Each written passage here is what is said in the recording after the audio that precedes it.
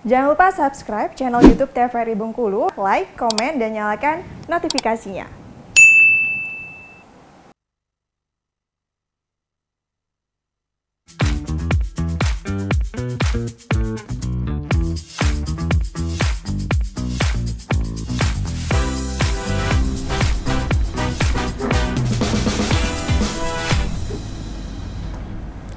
Balik lagi di opini obrolan pagi ini masih dengan tema yang sama yaitu bidan untuk masyarakat bersama dengan bidan susi.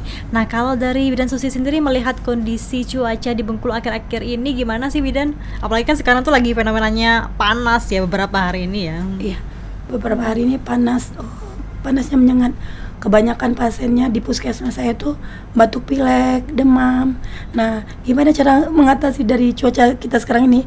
Oh, perbanyak minum, makan buah, oh, masih banyak minum air putih banyak-banyak gitu. minum air putih ya. Berarti batuk pilek sebenarnya ya, kondisi seperti betul, sekarang ini ya.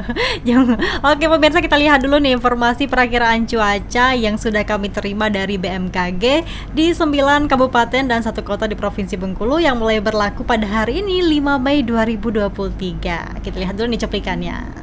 Mungkin Bidan Susi hari ini banyak kegiatan di luar rumah atau mungkin kebanyakan di posyandu Hari ini ada posyandu kami di posyandu jam ya? 9 ini.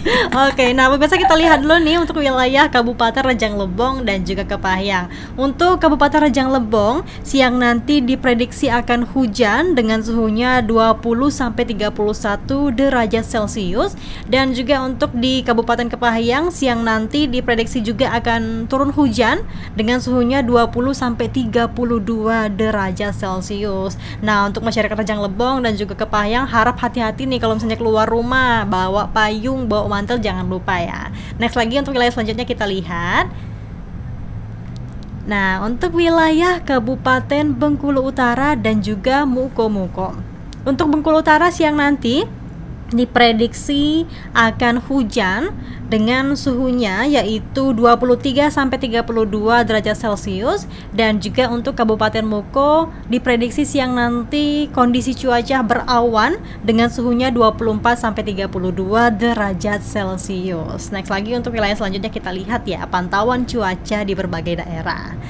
Nah, ini untuk Kabupaten Seluma dan juga Kabupaten Lebong. Untuk masyarakat Seluma dan juga Lebong, nih Kabupaten Seluma siang nanti diprediksi akan hujan dengan suhunya 24 sampai 32 derajat Celcius dan juga untuk Kabupaten Lebong siang nanti diprediksi juga akan turun hujan nih ya dengan suhunya yaitu 19 sampai 31 derajat Celcius. Kita lihat lagi untuk wilayah selanjutnya.